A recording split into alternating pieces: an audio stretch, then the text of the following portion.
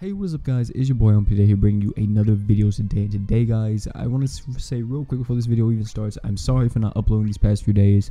I have graduation coming up. I'm graduating high school in a few days, and it's a lot of stuff to, that's happening that I need to get ready for. So, uh, yeah, um, I've been pretty busy, and also these past few days too, I've been kind of down. What I mean by down, I'm just not really been feeling myself, and not really been feeling like uploading um too much. So, yeah, um but apart from that, let's get into it. So today what we're going to be talking about is tier list in Dissidia and pretty much any game that you're playing. I want to just make a point clear. Alright, it's not that this video is going to be bashing tier list, and if you follow tier list, I'm not saying that you're a bad player or you don't know what you're really talking about during games and all that, or whatever the case may be. You know what I'm saying? Tier lists are good for a multitude of reasons, and if you live by a tier list, like for Dissidia, for whatever the case may be, I'm not judging you. Alright, I, I just want to get this off my chest because I've been seeing this a lot recently, and I just want to tell everybody, you know, some stuff. So, first off, let me list off like why a tier list is good. A tier list is good for a multitude of reasons. Uh, for one, it shows free-to-play players what units are really good and what units to go for and what units to kind of avoid uh, from their pool, that their their limited uh, premium currency that they have in any game they play. It's kind of just shows them, you know, what to do and like what units to go for. Uh, in Dissidia, you know, you may see that oh, um, why can't I think of his name right now? I can't remember. Oh man, what's his name? Freaking, I just saw him. Layle, that's his name. Layle right now in JP, I think it's because I think he just got an awakening. I'm pretty sure. I'm not for sure on that though. But uh, is right now rated as a SS character in JP right now, and people may see that and be like, "Yo, I'm gonna pull for Layle. His banner's out on global right now. I'm gonna try to get his weapon and try to max him out and all that other stuff, which is perfectly fine. It really is. And that's what the tier list is good for. It's good to show players what to get. Also, it's good to kind of see where the, the game is kind of at. See what makes the game, the well, really what's making the meta of the game. Like, what's really out of the top characters for a game, what is it that they're all kind of similar in doing? If we use an example like Dokkan Battle, Dokkan was a game that was very, I want to say, was pretty balanced during the 70% meta. Then it kind of went overboard with whenever it went to the 120s. But I do want to say that the all of the top characters in that game had a very similar thing going for them is that they could all hit extremely extremely hard. And that was the similarities they all had. Of course if a character and also a part and on top of that as well the really good characters also had a good link set in that game and all that other stuff that made them them. In Dissidia you know you have a multitude of reasons as well. Maybe this character can debuff and do a bravery attack or not bravery attack but debuff and like do an hp attack on top of it. For example seymour that just came out does a bravery plus hp attack that does a big debuff on the enemy kind of similar to tidus in the current meta of the game. And if you anybody knows currently in global titus is or titus you know however you want to pronounce his name it's pretty he's, he's pretty busted right now. But of course you know whenever awakenings come and all that Tidus will see some drop but I want to say this.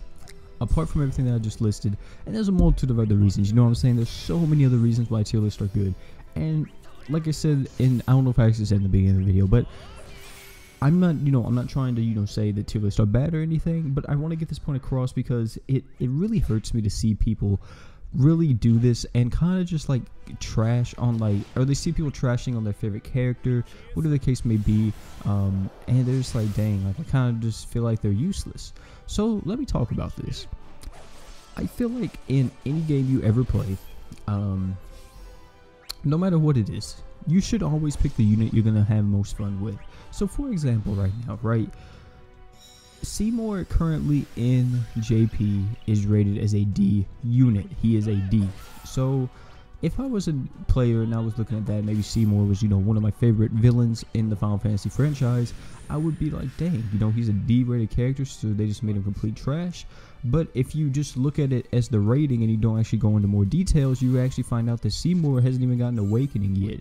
And probably whenever he gets an awakening or his 60 or his level 60, he's gonna be so much better than what he already is. Um, which is really crazy to me because I mean he's been out for a while in JP. Like what? He's been out for like what six, seven, maybe eight months in JP. I don't know how long it's actually been in JP.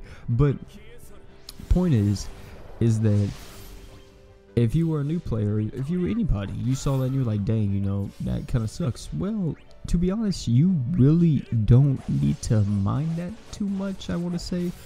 Because at the end of the day, right, people are going to constantly debate about the tier list and only and I know tons of people to only use characters that are good on the tier list. SS characters and S or A characters. Those are the only characters they're to pick from in order to cons- you know in order to let's say uh, formulate their team. Now, that's not bad in any way, shape, or form because that means you have a really solid team and all that other stuff. But at the same time, if you're not having fun that way and you were like, dang, I really want to use, let's say your favorite character is like, I don't know, Zidane. Let's say your favorite character is Zidane. And you're like, dang, I really want to use Zidane. And you're kind of losing interest in the game because you're not using Zidane on your team. You're not using the character that, you know, is your favorite character on your team. You're kind of losing interest and you're like, dang, I kind of want him. But, you know, and then you're just like, dang, I just have this really god tier team but I don't have my favorite character on it, and you're kind of a little bit sad and all that other stuff because you're like, I really want to use them. Main point of this video is you guys may think this is all just rambling, but I really want to say that use the character that makes you happy, um, and makes you like have fun with the game. Let's say, if your favorite character, whenever Sephiroth comes out, I'm using Sephiroth on my team for forever. Like he is my favorite villain of all time. The only other villain that's probably my favorite next to him is probably Ardent from is this his name right or Ardyn is that his name from Final Fantasy 15 and then Genesis I guess you could say as well is the characters that you know that I'm are like my favorite villains in all of the Final Fantasy franchise. Of course, you know everybody else. I know Seymour and all that other stuff. I, I know, I know, I know, I know. They're all great too. Please, please, calm down. but at the same time, you know, I'm not gonna let a tier list stop me. And this is the main point of the video that I want to get in.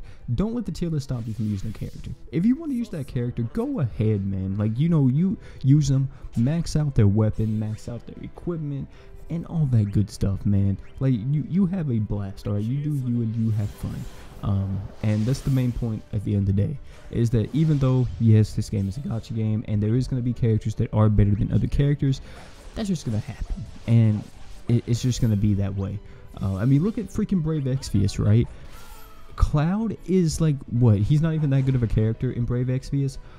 Wherever I play Brave Exvius, Cloud is the only is a unit that I use on every single team, no matter what, unless I don't need a breaker. So uh, I really use Cloud every chance I get.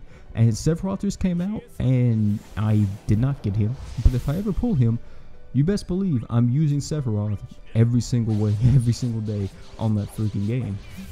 So, yeah, that's the main point I want to get at here, guys. I don't want to waste any more of y'all's time. So, main point of the video, just have fun and use the characters you want to use. Uh, don't completely follow a tier list, even though following tier list is good for the reasons that I listed, but just do you. You know what I'm saying? Just do you and have fun with the game. That's pretty much it, guys.